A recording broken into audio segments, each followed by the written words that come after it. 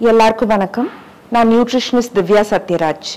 தனியார் மருத்துவமனைகள் அதாவது பிரைவேட் ஹாஸ்பிட்டல்ஸில் நடக்கிற ஒரு முக்கியமான விஷயத்தை பற்றி சொல்கிறதுக்கு தான் இந்த வீடியோ இது என்னோட டாக்டர் ஃப்ரெண்ட்ஸ் கிட்டிருந்து வந்த தகவல் தான்.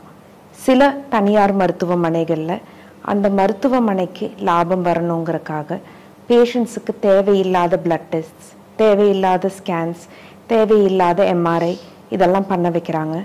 ஒரு பேஷண்ட் குணமானதுக்கு அப்புறமும் ஒரு ரெண்டு நாள் ஹாஸ்பிட்டலில் அட்மிட் பண்ணதுக்கப்புறம் டிஸ்சார்ஜ் பண்ணுறாங்க ப்ரைவேட் ஹாஸ்பிட்டல்ஸ்க்கு போனால் நோய் குணமாகுங்கிற நம்பிக்கையை விட பணம் காலி ஆகுங்கிற பயம்தான் பேஷண்ட்ஸ்க்கு அதிகமாக இருக்குது எங்கள் அமைப்பு மூலமாக சில பேஷண்ட்ஸ்க்கு நாங்கள் உதவி செஞ்சாலும் எல்லா பேஷண்ட்ஸ்க்கும் உதவி செய்கிறது ப்ராக்டிக்கலாக முடியாத ஒரு விஷயம்.